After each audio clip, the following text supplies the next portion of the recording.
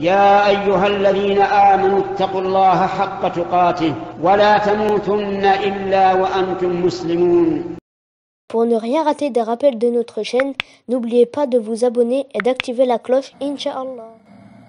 La recommandation de jeûner ces jours durant le mois de Shawwal. Bismillahirrahmanirrahim.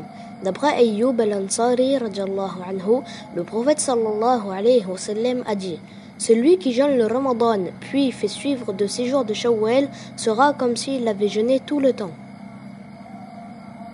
عن أبي أيوب الأنصاري رضي الله عنه قال النبي صلى الله عليه وسلم من صام رمضان ثم أتبعه ستة من شوال كان كالصيام الدهر بسم الله الرحمن الرحيم D'après Thauban, anhu, le prophète sallallahu alayhi wa sallam a dit Celui qui jeûne le Ramadan et six jours de Shawwal a certes jeûné toute l'année. عن ثوبان رضي الله عنه قال رسول الله صلى الله عليه وسلم من صام رمضان وست من شوال فقد صام السنة Remarque, il convient de jeûner les jours manqués de Ramadan avant de jeûner les six jours de Shawwal.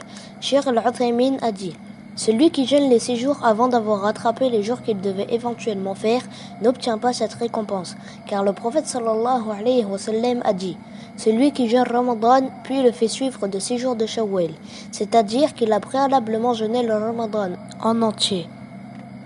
Il n'est pas obligatoire de faire les six jours à la suite ou de les faire à un moment particulier du mois de Shawwal.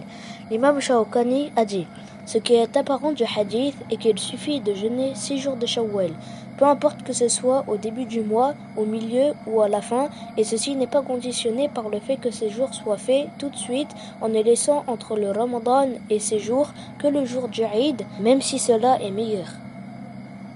Merci à toi d'avoir regardé la vidéo, abonne-toi et partage pour un max de hasanat. Barakallahu fikum.